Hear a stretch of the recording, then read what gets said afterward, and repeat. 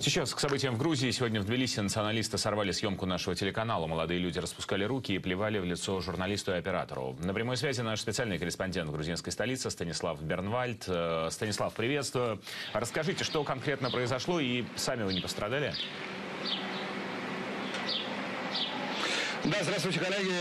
Действительно, неприятная ситуация сегодня произошла недалеко от центра Тбилиси. Мы э, писали репортаж и, собственно, записывали спикера, который рассказывал о той э, ситуации, которая может произойти в случае отмены прямого авиасообщения с туристическим э, направлением э, в Грузии. Записывали женщину Викторию, она владелец туристического бизнеса. А Именно в этот момент к нам подошли двое э, непонятных молодых людей, которые начали сначала словесно, а потом физически воздействовать э, на, э, собственно, мужа этой женщины, который просто преградил путь между нами, встал между нами и ими. А, Вот, завязалась драка, но э, начиналось все примерно вот так. Давайте послушаем э, и посмотрим, как это было. Грузия, это так гостей встречали, да? Это ваши мне. Hadi ya Kaytan. Что отсадишь? Это голос на меня.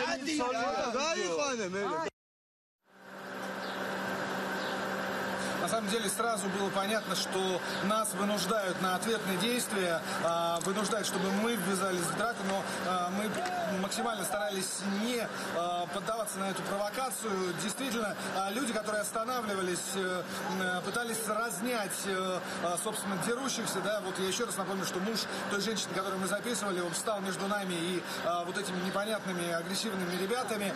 Люди также пытались растащить их. Сразу же после того, как э, инцидент закончился, они исчезли из поля зрения, увидев а, на горизонте полицию. А, Да, действительно, вот а, очень непросто работать сейчас в этих условиях, в э, условиях напряженной ситуации здесь, в Тбилиси. А, Стоит сказать, что а, стоит сказать, что мы продолжаем это делать, несмотря ни на что. А, Коллеги, передаю вам слово, будем держать вас в курсе. Станислав, а какая ситуация в целом сейчас в Тбилиси? Могли бы вы дать какую-то оценку?